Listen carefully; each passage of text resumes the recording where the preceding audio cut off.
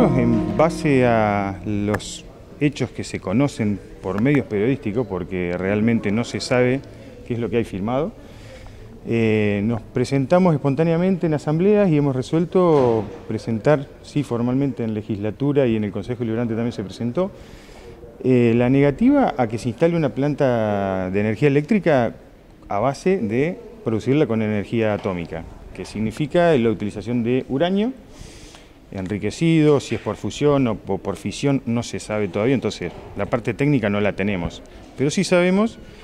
que la utilización de uranio en una planta de energía atómica en la Patagonia o en cualquier parte del mundo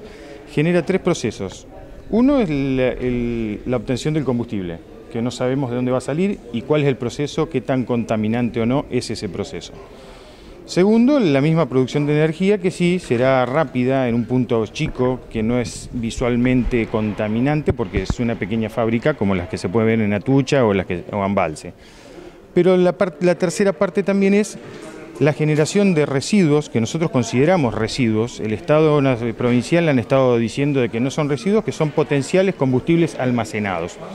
Nosotros creemos que un potencial combustible almacenado se utiliza. Si van a pasar 50 años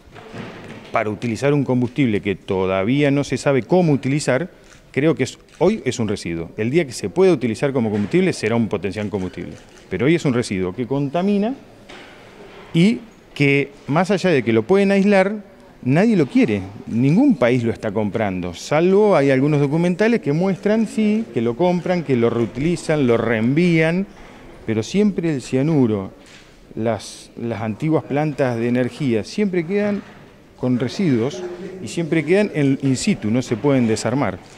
Eh, hoy por hoy los países de primera línea como Alemania, la mitad de Europa, se están desarmando las plantas y nosotros estamos comprando una tecnología que no la ponemos en acción hoy, la vamos a poner en acción no se sabe si en el 2025 o 2030, porque ya están empezando a decir que tardaría un poquito más la construcción. Toda la información que nosotros tenemos de qué es lo que se haría es lo poco que se ve y que transmiten ustedes los medios porque no tenemos nada oficial, ni por el gobernador ni por el presidente de la Nación, que es cuando surgió esta nueva historia de que volverán las plantas a la Patagonia, y, es decir, volverán, que retomaban un proyecto que no es de este gobierno, sino que aparentemente sería el gobierno anterior. Entonces, lo que nosotros planteamos como asamblea es no queremos cargar con la este, responsabilidad social de haber dicho, nos quedamos tranquilos, nos quedamos callados, no, no dijimos lo que pensábamos, no queremos la energía atómica.